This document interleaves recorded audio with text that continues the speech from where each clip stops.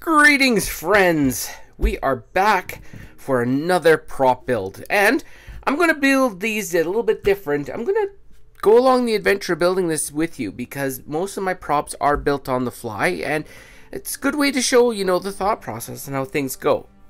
So, with what I want to build this week is a lock, and I want to make it out of EVA foam, so, you know, it, it'll be one of those things where it will be all ornate. We'll have a nice lock hasp here, and I want it to big, be big because it's going to go in the treasure chest. So what we have to figure out is exactly how this lock will work and how everything will function into it. And this is where the thought process comes from in terms of how do we make this thing work properly, you know, because we're dealing with EVA foam, so the mechanisms are not as precise as you may want them to be because you're dealing with foam, of course. So let's say we're going to make these walls out of the 3 8 foam. Um, the back out, same thing. Uh, the hasp, I think, in order for resilience, we don't want to go with with uh, standard foam, like you know your typical uh, styrofoam, your rigid styrofoam. So I think I'm going to do a laminated laminated here. That way it'll allow me to have a bit of resilience and makes it so it doesn't break as easy. Now, the locking mechanism. What would be a great locking mechanism? So if we bring this down to here, and we have those shafts come all the way through, the easiest way to make a locking mechanism is to put some notches in. And then if we put in, uh, let's see here, let's go over to here. If we have, there's the wall. This will be the post coming down. Now, if we make a cammed locking mechanism of just a square piece of foam or whatever in here with the key through it. And then if what we do is we put a hole through the back here, it'll allow us to, I'm to make sure I'm in the center here, that will allow us to put a key through the center and act as the axle for the actual locking mechanism. And all you do is spin this out of the way of the notches in those center posts. I think that's going to be a good way to go. So, that is our start. I'll be back once I go into the computer and draw this up, and they'll come back and discuss exactly what we decide to go on. All right. I went and drew all this up on the computer. Yay! I'm going to be putting this down below as a link because this is pretty precise stuff. And when you print this, this is to scale. So you can actually cut these pieces out and put them on the foam. Because on this, this is going to be so important. This part here and this part here and the cam. What I'm going to do is I'm going to design a 3D printed key that I'll put up the actual 3D printed thing down below. And on Samhain.ca, I'll make it so if you really want, you can order a key. I'll, I'll print it for you and send it to you. So what we're going to do here is you can see now that when this thing rotates, this will be your, key channel. And on the front, you can see at the back there's just a circle. Well, on the front one, it has a full circle like this with the actual key path. Then this block here has an also notch out. So when the key goes in, the front of the key, you know how you've got your typical like old school skeleton key. It looks something like that. So what happens is this part here goes through there and creates the axle. This part here is what will spin the mechanism. And then once you're past here, the key will end up about here when it's spun and it'll spin both these out of the way counter clockwise. We may have to add some buffering in here and here just to stop this thing from wandering while it doesn't have a key in it, but it looks it looks pretty snug at this point. And as you can see, um, everything else has been panned out. I'm going to start building this, get some foam cut down, and we will go along for the journey. And if I run into problems, of course, we will share them together. I'll be back. Now, once we have everything cut, get over here. Once you have everything cut out, you can see here, this here is the most important part of what we're going to be building initially. So what I did is I took two pieces of 3 8 EVA foam and laminated them together. And I make sure you sand this stuff off because, man, it just doesn't stick to anything. Now, I suggest you build this hasp and shackle first. So, like you can see here, if you look really closely, you can see the line there that is the two sides laminated together. And then I went through and I just dremeled the heck out of it to make it look like a really old piece of iron. And the fact that the opening on my treasure chest barely takes this size, so I had to kind of get aggressive with it. Now you can see down here how we have these notches. Like I said, super important. Everything, the whole locking mechanism is going to revolve around that. Now, we're going to move on to the actual, you know, lock body. As you can see here, all I have is glued on the one and a half inch styrofoam onto the back piece here. Now, we're going to be looking at how this fits into here. And as you can see, that is beautifully snug on the outside, and that's what we want, because when that piece in the middle cams in, it'll lock and hold that. Alright. Now, we've got everything in place. You can see up here that these three pieces of foam are used uh, using this template that's on the file. And then what this allows you to do is you pretty much use these as guides. And once you're done, you can use a Dremel to clear these out to make sure that your actual hasp falls into your lock pretty quickly and easily. And don't worry about see how that opened up at the bottom? Not a big deal.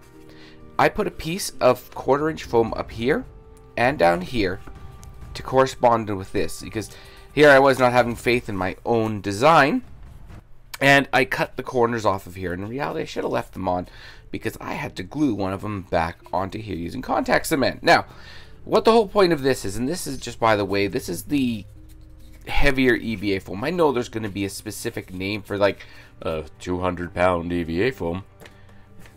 I just know it is the Kid Block EVA foam, which is a bit heavier and a bit stronger. Now, you'll see that I did the split in the middle of this. Why? So I could use a saw to cut out this keyhole without struggling through an inch and a half of foam using like a knife or something. This worked out really well. So all I did is when I put my template on, I traced the keyhole and then all I did was cut it out, glue it together, and I have my lock block. Now what happens is you'll see how this goes into here. It fits in snugly, and that's what you want. And you'll see on this side, this is not as important. This more is just opened up so it can spin when it's done. This side, let's see if I get the light here right. This side is the important one. You can see how this notch goes into that notch which we built on the hasp. So when you put the key in and you turn this, it frees up the hasp and allows the actual shackle to come out. Now, don't get me wrong, this is no like lock picking lawyer level of lock where, you know, he'd probably sneeze at this thing and it'll open it up. It's it's more for just the little bit of fun where you have the thought there's a challenge there, you know. In reality, you don't even need to do this. You can put two magnets at the bottom of the shackle and be done and make a lock. But of course, I'm daft and silly, and sometimes it's fun to challenge yourself to build something that, you know, is a functional cammed lock design. And once it's in there, you'll see that it holds itself together really well. If you pull really hard, of course, it'll spin. You have to realize it's a lock made out of foam. We, are not looking at like Fort Knox level of security. So the next step we're going to be doing is we're going to be putting the faceplate on, painting this up with a bit of black on the front so when the key goes in and you spin, you don't see that that green and yeah red because that might might just just a little tiny bit remove some of that uh, what's a word I'm looking for uh. Hey, there we go. So we're going to be back once we've got this on, you can really start having fun. We can start sanding this down, adding some details to the lock, and we'll continue on. I'll be back. The lock is looking pretty close to being finished now. All I've done is I put the front plate on, making sure that, you know, everything lines up. You can see through there. And then I just used a Dremel and I did up all the texture on it. You can do whatever texture you want or no texture. It is up to you. And then I finished up with just a coat of black spray paint.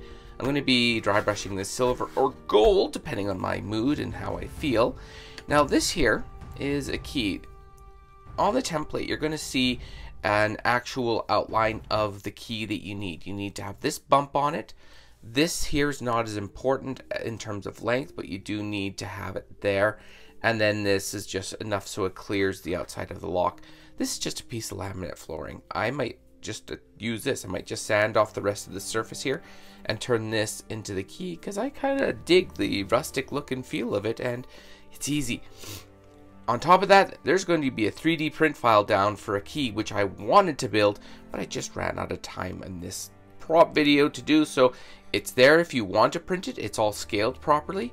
I just have not printed it yet. Now, this works out really well because you see, obviously, you put your key in, and if you listen, that click is the cam on the inside spinning. And just like that, it releases it. Put it back in, make sure it's all the way down, spin, and it locks. You know, of course, you can brute force this thing if you pull it hard enough. It's foam. If you expect uh, Fort Knox to keep this together, you will be sadly mistaken, but this is a great this is a great way of making a prop that is actually functional enough to be immersive. So say if you're doing like an escape room or something, this is all you need to keep this lock secured and safe. So regardless, I'm going to go through and be putting some gold trim up here, maybe some treatment around here that's going to be done in gold. I might do some silver dry brushing.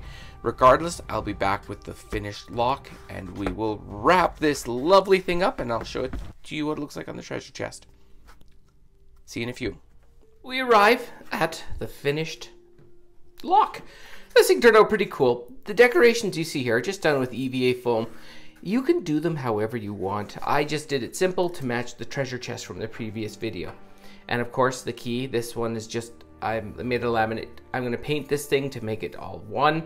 And the functioning lock is actually pretty darn slick. You can hear that it'll release, it'll open up, and then trying to do this while looking through the cameras harder. Spin it, lock it. Remember, it's only about a quarter turn that you, or an eighth of a turn that you do to lock and unlock. And just like that, it's finished. So, fun project. The mechanism being all foam is what interested me most about this project. Uh, things I would change. The cam on the inside, don't cut off the edges. I did it uh, as a, an abundance of um, safety. Turns out that actually I had to glue part of it back on. So that's about the only thing that would really change on this prop build. Uh, and beyond that, fun prop, light. You can use it as a, as a lock on a lot of props without putting undue stress on them. And that's it. I can't really explain much more. Hope you had fun with this little bit of an odd, different prop in a interesting outcome. Uh, so, yes. If you like the video, please remember to like. If you subscribe, that would be fantastic. If you really, really like me, there's a Patreon hiding somewhere down there for you ever wanted to, you know, throw me a few dollars a month to encourage me to keep on doing all these fun props. Well, actually, you don't have to encourage me. I'm doing them anyways. But, you know, money for materials is always wonderful. Regardless, thanks for tuning in, and I will see you on the next one. Have a good one, all.